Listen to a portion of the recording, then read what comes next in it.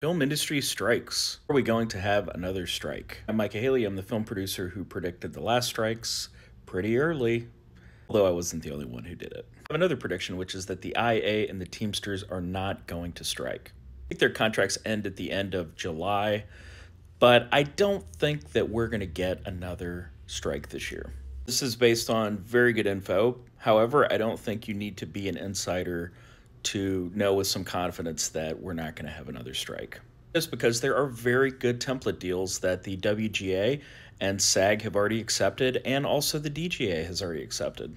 Those are like backstops, and they're really good. So I think even if the IA and the Teamsters just got that same deal, they would be totally okay with that. When the WGA and SAG struck last year, they did not have a template deal. They did not have a good reference point, but the IA and the Teamsters have that. Teamsters are also a very strong union uh, for reasons that should be obvious.